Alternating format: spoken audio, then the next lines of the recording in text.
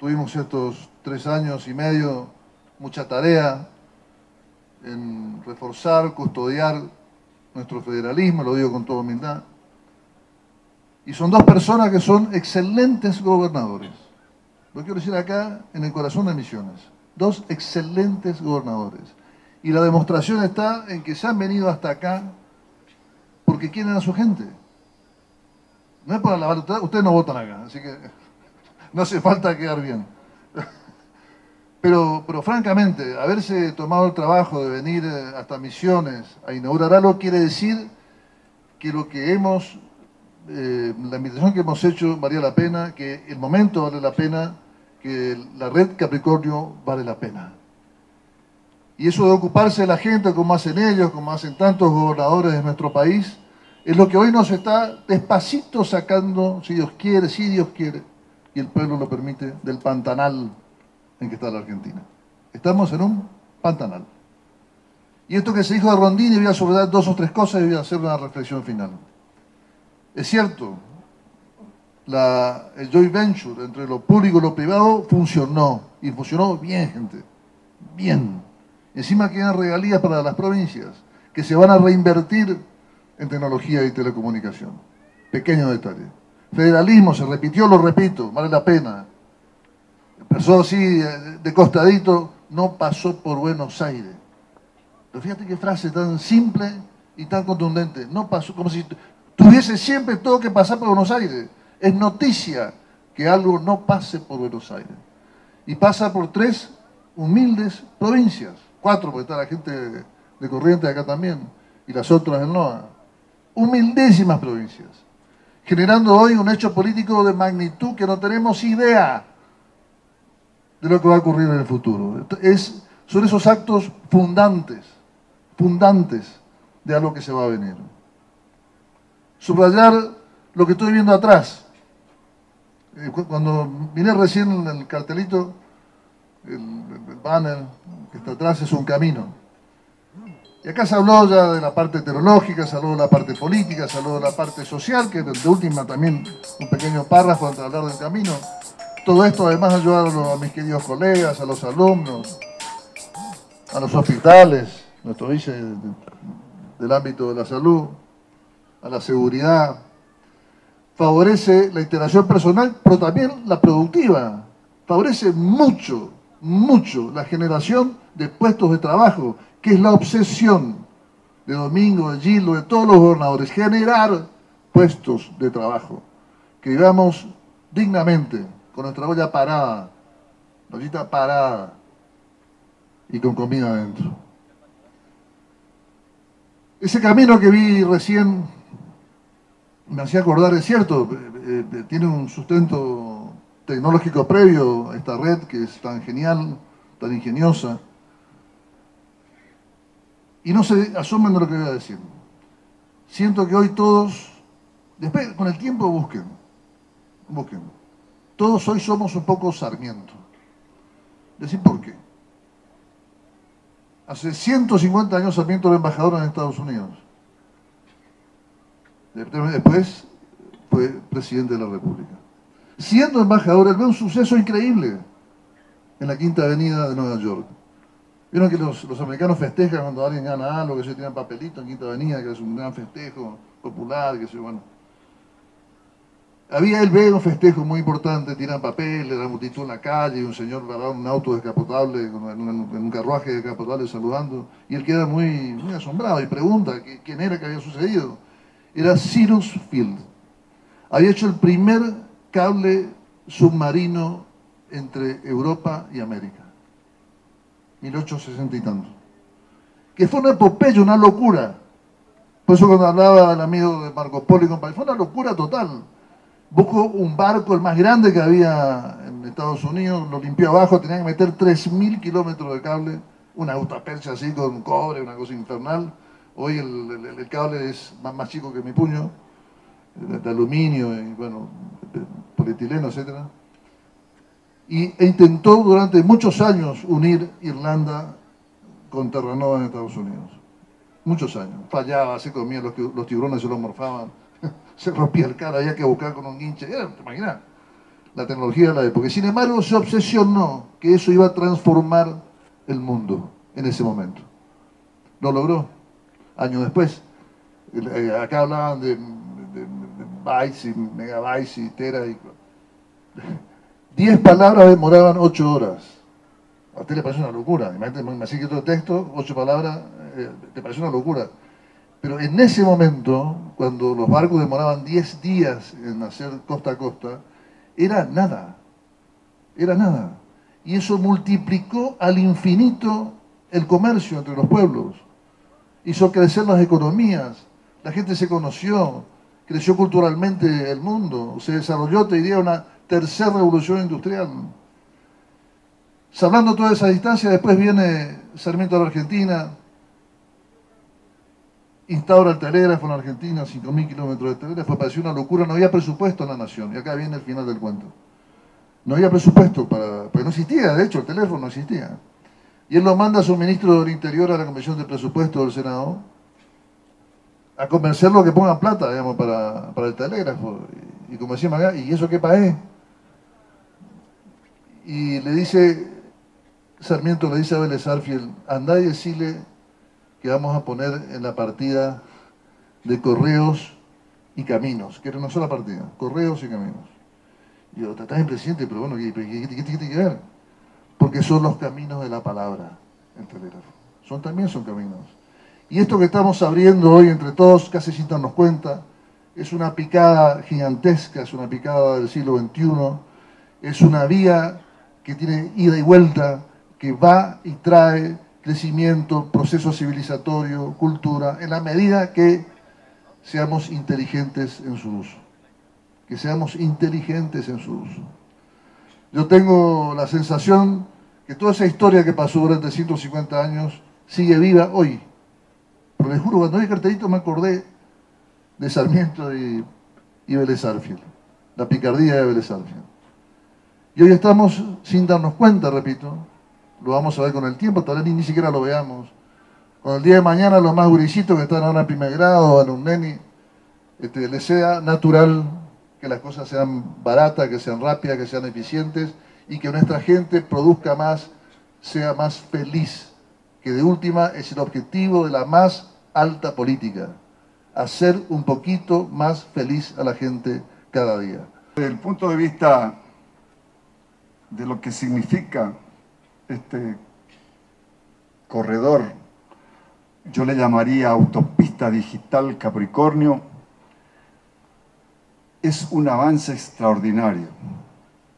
Tampoco voy a explicar porque ya este, expresaba recién y muy, muy bien cuando amorosamente nos hablaba el presidente de Sílica con esta relación que puede ocurrir entre un poblador o una pobladora de aquí con el vecino país. Ahora la cuestión va a ser mucho, mucho más directa.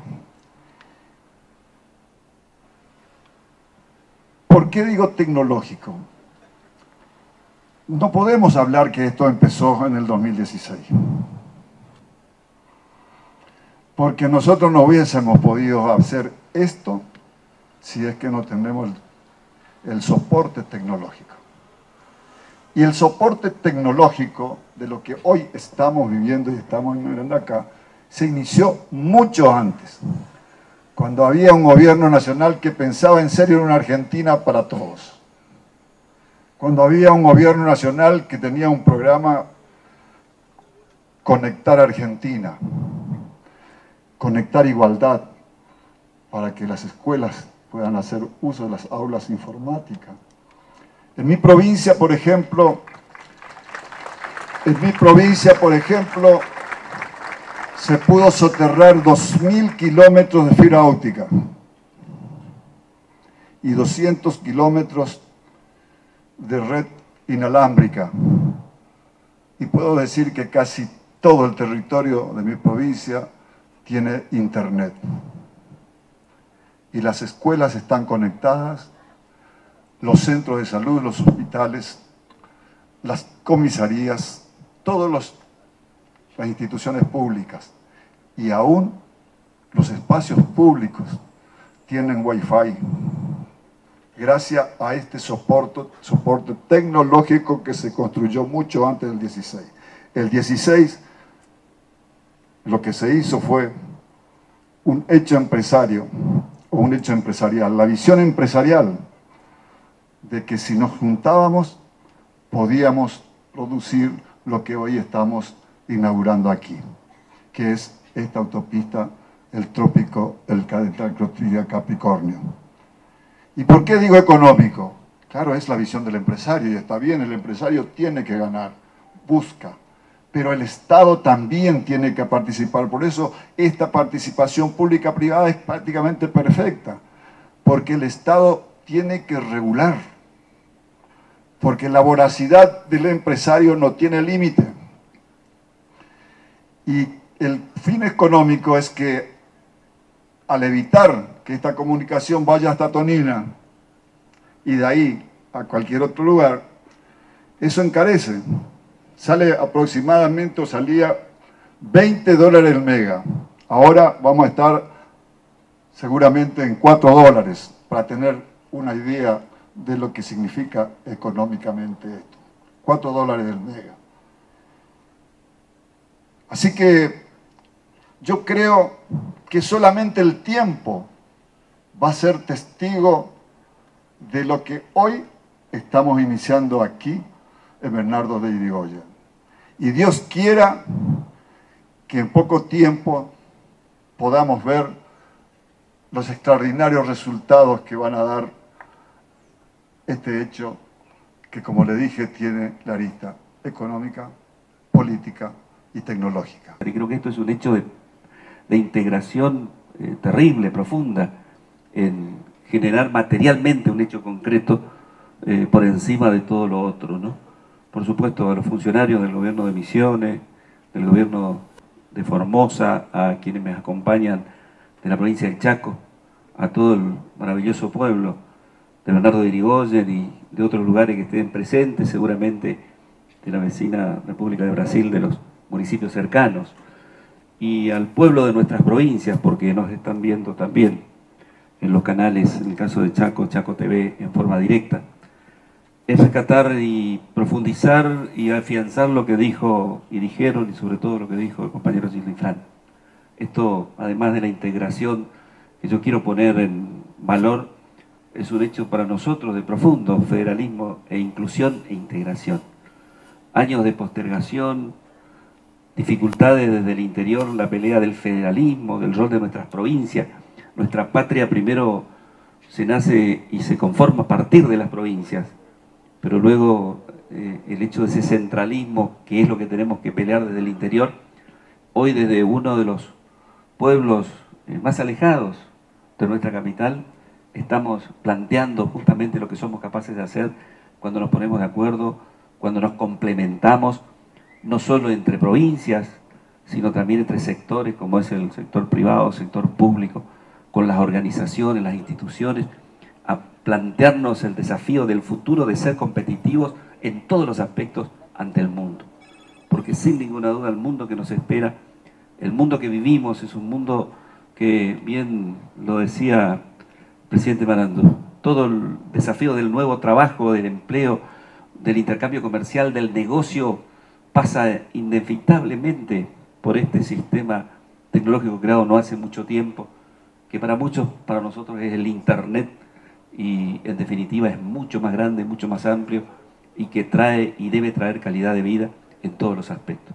Por eso es fundamental que el Estado primero tenga las fortalezas, como lo venimos haciendo en el Chaco, en la conectividad de las escuelas, en la conectividad de los centros aislados, en darles esa posibilidad de la integración necesaria.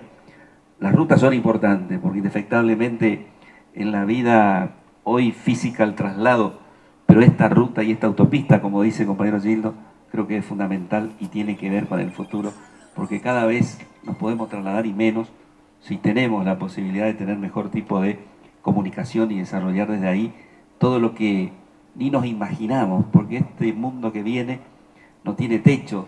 El desarrollo del conocimiento, el desarrollo de la imaginación y de la tecnología y de lo que nos sorprendemos cuando nos empiezan a contar cosas de cómo en menos del segundo, el segundo quedó, es un tiempo largo ya hoy, es el nanosegundo y seguramente después lo partirán al nanosegundo millones de veces, esa información se da a través de este método y esto que fue una definición y bien decía Gildo, la base de lo que fue ese gran plan de conectar igualdad y de fibra óptica en mi provincia. También, hay 2.000 kilómetros de fibra óptica, que fue la base que nos permite desde ahí implementar y complementarnos y empezar a socializar y darle la accesibilidad y, que todo el mundo tenga el derecho a tener acceso a, un internet de calidad, de rapidez y de banda ancha, de rapidez. Hay muchos que aún hoy esperan un rato para que le entre un correo, para abrir una página,